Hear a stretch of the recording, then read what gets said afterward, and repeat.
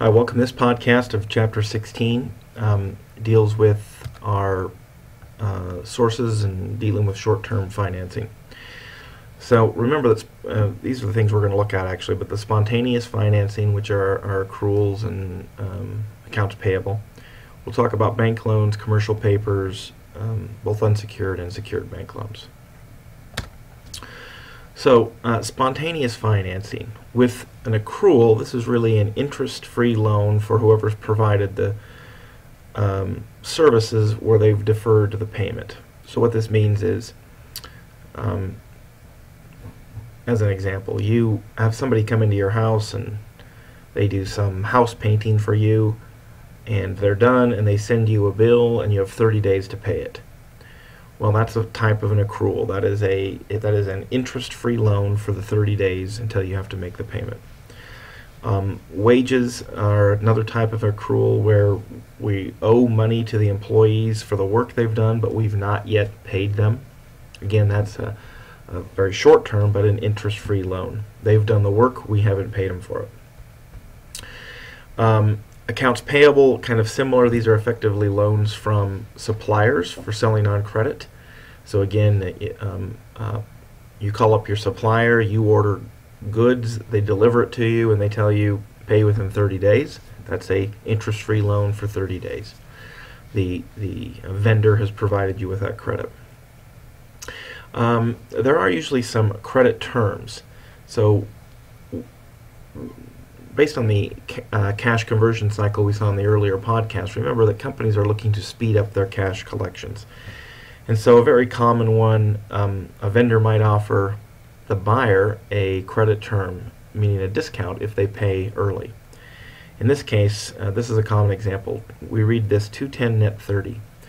And what it means is there's a 2% discount if paid within 10 days, otherwise, the net amount is due within 30 days. And the purpose here is to encourage the buyer to um, pay for those goods 20 days earlier than they needed to, and that speeds up the cash conversion cycle. Um, most companies, when offered a discount, to take it. In fact, some may even borrow money from a bank to take it if they don't have enough to do it. The reason being, and I'll show you this math here, is if you pass on the discount, it is actually a very expensive uh, form of financing. So let's look at this. Uh, 210 net 30 means if we don't pay within 10 days, we're basically paying 2% interest for the next 20 days use of that money. Well, if we were to uh, figure that what out, that 2% for 20 days is on an annual basis, that works out to be about 36.5%. So it would be, if we can go to the bank and borrow money at 5%, we'd, we'd be much better off doing that and taking the discount versus having the vendor finance it for us and then what works out to be a rate of almost 37%.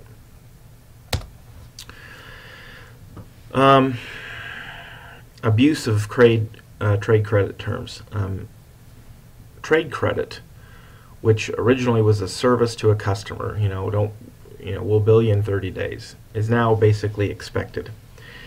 Uh, it arises, why we have trade credit, is arises from the time lag between when the goods are received and when we pay for the goods.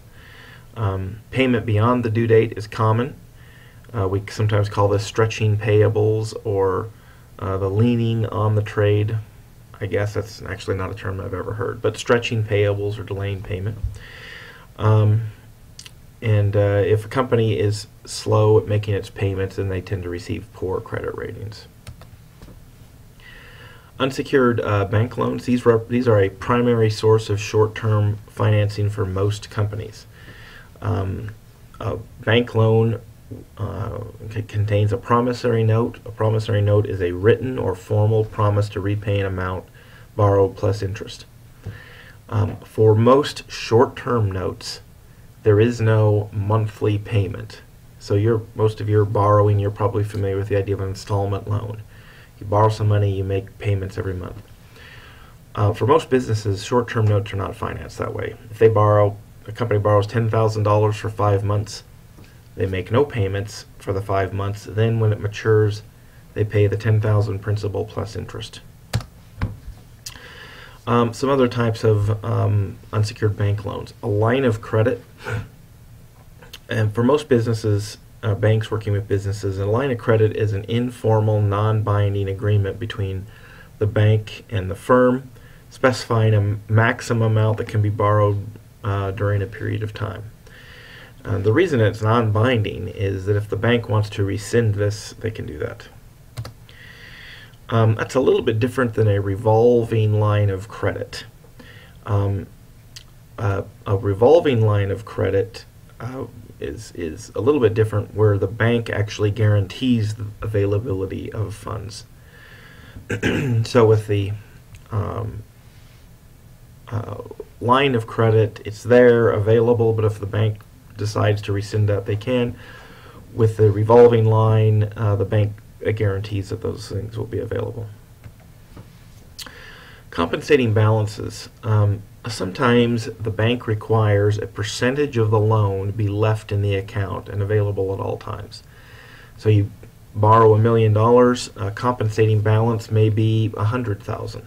So you're you're borrowed a million, you're going to pay back a million plus interest, but a hundred thousand has to be left in the bank account uh, and cannot be um. This is what this is known as a compensating balance.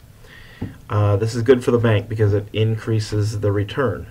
In essence, they're earning interest on the million, but they've only have the exposure of the 900,000. It's bad for the borrower be just because the opposite of that, it increases the cost of the loan. Um, sometimes they might require, a bank might require average balance requirements. Uh, they require um, the firm to maintain a minimum balance in the account, uh, averaged over a day or week or however they do that. Um, and, they, and those, again, those are types of compensating balances. Um, with short-term debt, borrowers are required to be out of short-term debt for a period of once a year, and so within that, every year, they got to be out of it usually 30 to 45 days.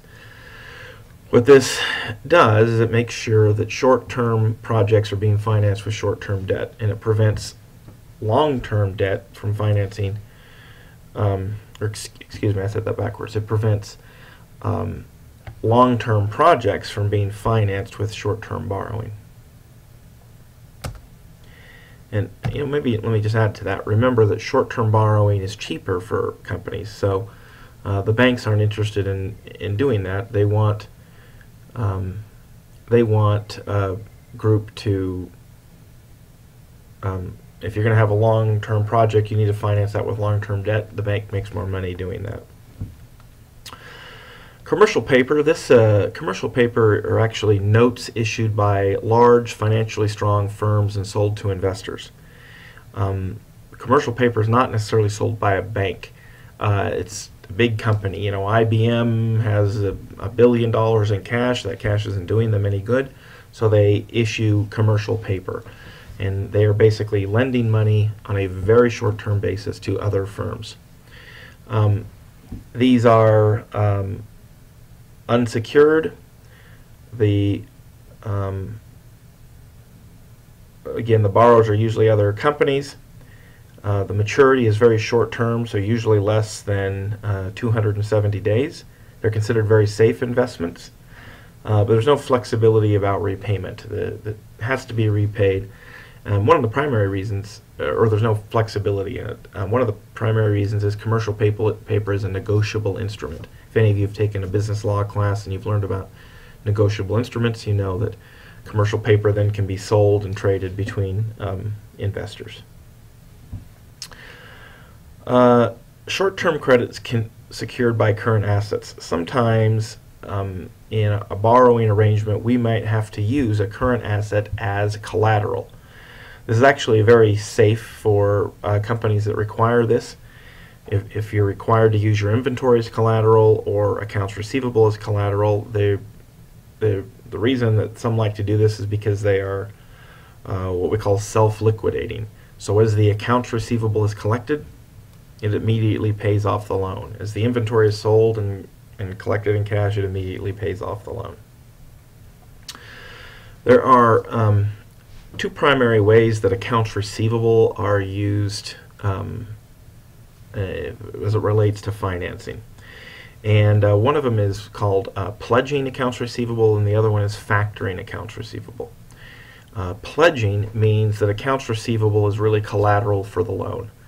So if I have a sale, I now have a hundred thousand dollars in accounts receivable that I'm going to try to collect. Um, I might not want to wait 30 days to to get that money. I might have needs to have that cash now. I can go to the bank, pledge the hundred thousand of accounts receivable, and maybe they lend me seventy-five thousand. That now I have that cash up front, and then as I'm collecting the receivable, I'm paying off the bank, you know, with the interest and fees and whatever I have to pay there. Um, the other one is factoring accounts receivable. And in factoring accounts receivable, the receivable is actually sold directly to the financing source, like a finance company.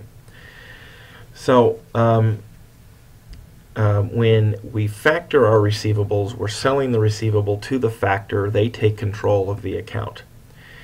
Um, uh, let's see. The factors perform credit checks. They want to make sure they want to figure out if they think you know the item will be collected. And let me have, I have a little graph here for you. So here's kind of the, how it works. Uh, so the customer places an order with the company. The company requests a credit review with the factor. So the factor is reviewing the customer.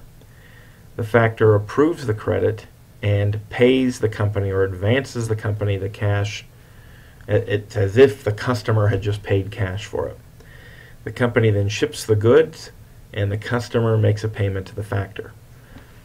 Okay, so how does the factor make any money doing this? Well, if if if the good was sold for hundred dollars, you know the factor only advances seventy-five dollars to the company, collects a hundred from the customer. That's how the the factor makes money. Um, inventory financing. Inventory again can can be um, it can be used as collateral. Um, it's a little bit complicated, um, as you might think about it. I mean, some some inventory is perishable, so that creates a particular problem. But here's some things to consider. Um, one is a blanket lien. A blanket lien means the creditor has a blanket lien against all the inventory of the company. Um, what this prevents uh, some companies from doing is saying, well, well, no, your loan was against this inventory that I sold, and this new inventory is something different. Uh, banks won't usually go for that. A uh, chattel mortgage agreement is that the um, inventory is tagged and can't be sold without the creditor's approval, so the creditor knows which inventory item is being sold. And then warehousing is an agreement where the inventory is moved and stored by a third party. And these are ways to uh, protect the lenders in an inventory financing arrangement.